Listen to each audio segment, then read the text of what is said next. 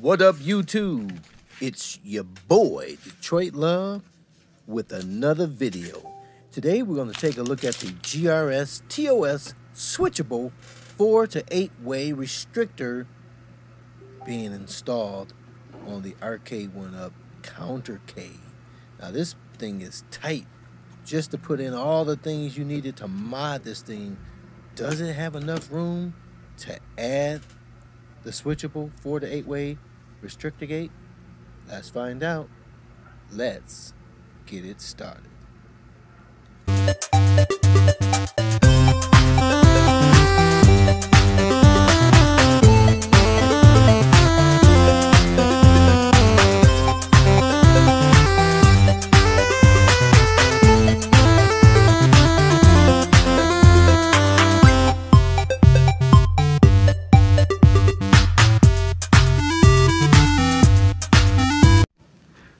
So this is a gate, and every Sanwa compatible joystick will have one of these. And it can be mounted inside uh, your cabinet at the base of your joystick. If it's in one position, it allows the joystick to float around in there and go all way eight ways. If you turn it another way, then it hits up against those sides and, and, and is restricted to four way. And so this GRS product simply just rotates that automatically for you. And, and, okay. and why is that restrictor gates rotation important? It is important for certain games to be able to play the way they're intended to play.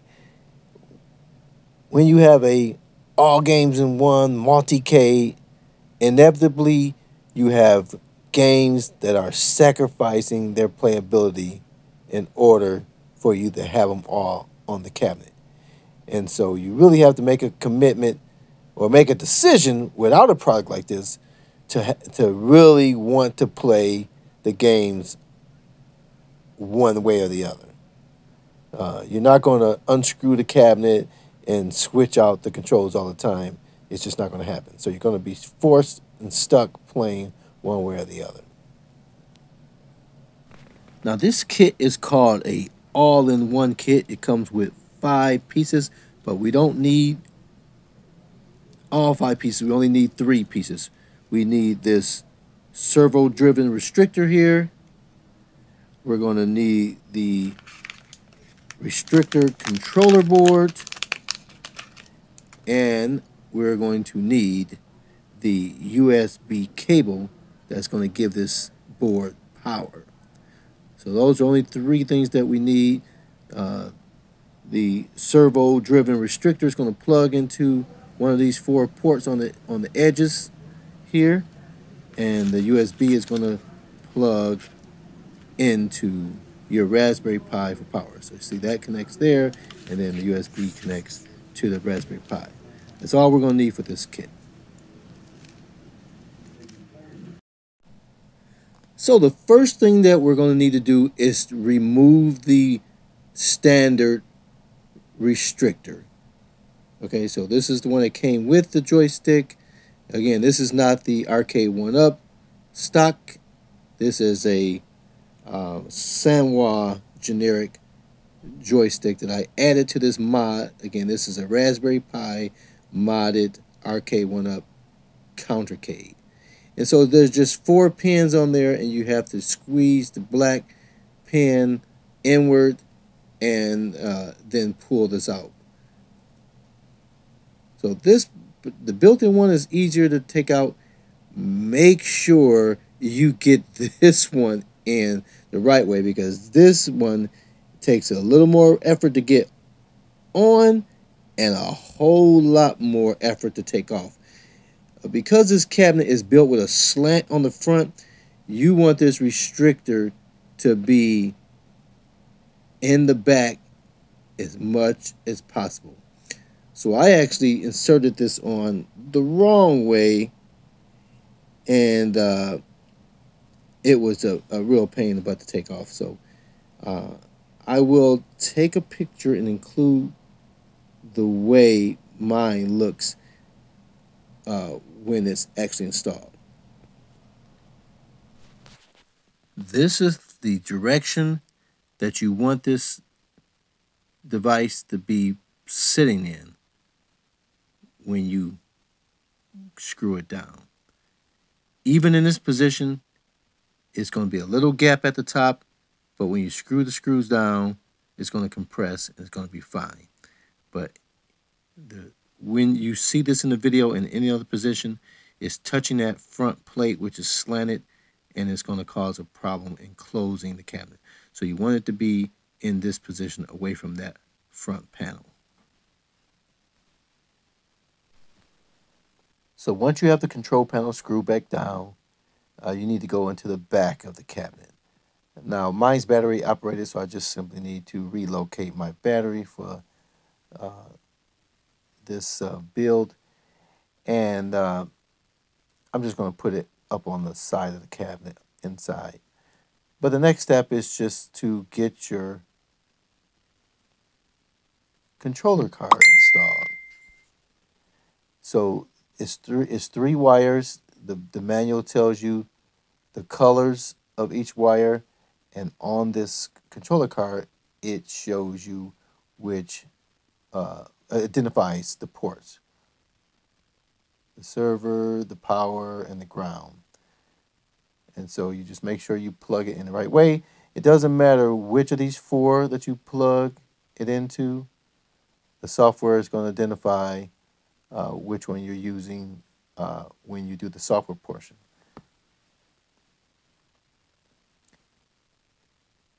So the, the wire is already on the little box there on the base of the joystick now. And so you can mount this anywhere that's going to be out of the way. The kit comes with um, little mounts that have adhesive backs, um, but I already have a double back uh, Velcro uh, strip that I use. But you see here, so you just plug it in. Again, it can be in any of the four slots are there. And then you need the power.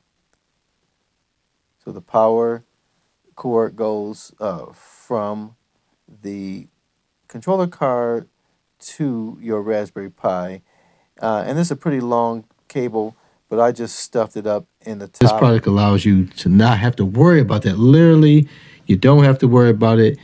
Uh, with a Raspberry Pi mod, it will automatically just do it. There's a software jet installed. There's a link in the description to when I did it on my uh, big one. On this one, I put the actual button, which I didn't need to do, but I just did it to show people um, that it, it would change the light for you, um, even if you didn't manually change uh, press that button. Um, but fantastic tool, Galaga.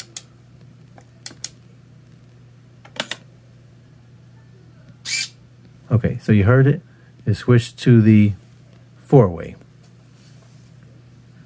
So automatically it switched to the four-way. Galaga is really a two-way, but it would use a four-way. So you heard it switch. There's no button, even though this kit comes with a button, so you can manually switch it. Because I'm using Raspberry Pi, I have no need for that button. So we'll exit this game, and let's go.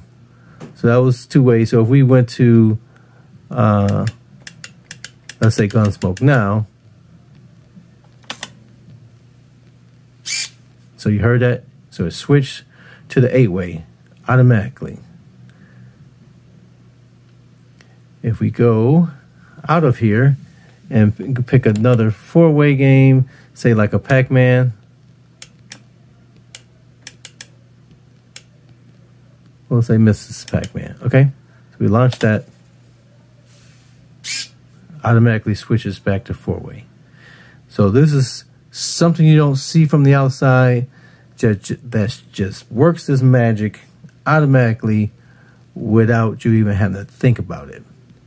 Now it knows which games are which. So now if we went to say Merc, Mercs eight-way game, automatically switch to the eight. And that's just how simple this product works. Very simple install. Now, in this situation, the it is a tight fit, and initially my control panel was raised a little bit, but I just screwed the screws down. It pushed it down where it needed to be, and it doesn't hurt the mechanics of the of the joystick.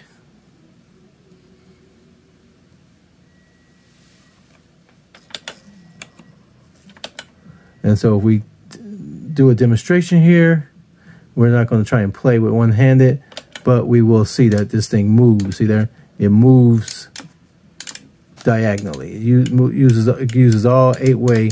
Trying to play this without the eight-way would be very frustrating because you could only go up, down, left, and right.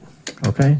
So we'll take a look at a game I showcased earlier where without this product, it was moving in four directions up, down, left, and right, which makes this very, very difficult game much harder to play when you cannot move diagonally to get out of the way of some of these bullets. I mean, there's bullets flying everywhere, and you need to be able to move freely in the directions uh, to dodge not only these fast moving people, all of these bullets that rain down on you.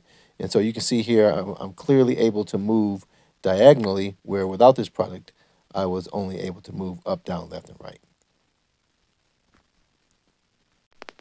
So there you have it, a very easy to install product with a Raspberry Pi, no need for the button that's included.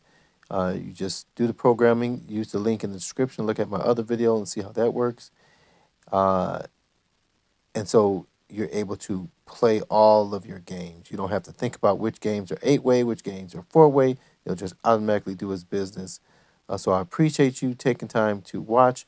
Uh, this video comes to you, but most people, they're not subscribed. So please hit the subscribe. I'm almost near the 5,000 subscriber mark. So it'd be awesome if you can help me get there. Uh, like the video and share the video. If you can share it on your Facebook groups and things like that, it's always better when you share versus when I share. Uh, so I appreciate you doing that. What do you think about this?